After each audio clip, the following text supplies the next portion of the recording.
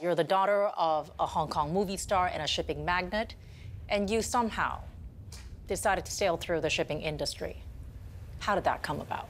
In 2001, um, I got a call from my dad um, asking if I would come back and give this, the family business a try. What's so sexy about poring over spreadsheets, the Baltic Dry Index, container ships? It's frustrating at times. Oh.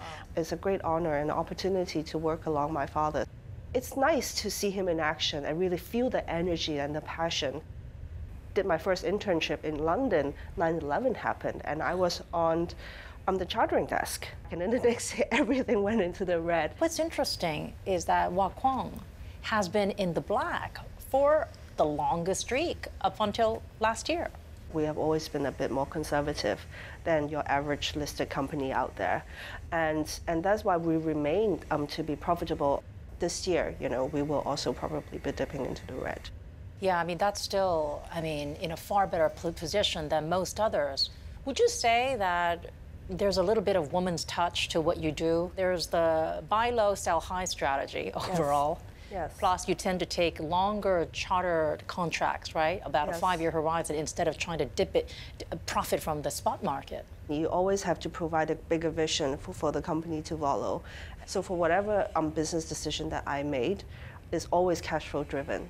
So that has worked out quite well. Last year, you said goodbye to your father, mm-hmm. who battled a long illness, and also your longtime CEO, Tim Huxley, left the company. The constant in the world has changed. He was ill for a long time, and with his passing, you know, his suffering finally ended as well. Tim and I, we worked alongside for almost 10 years. And when my father passed away, you know, he he stood by me and he was a great emotional support for me in many ways. It seems like you probably don't have time for anything else other than work trying to get your ship uh, together, and you're now expecting baby number two. Yes. How do you manage it all? What's the secret? The secret is knowing that you're not a Superman and something's got to give when you want it all. What has to give? It depends, you know, it could be small things. For me, I gave up traveling mm. um, for a few years at least. How do you also find that mental balance? Just focus on the bigger things.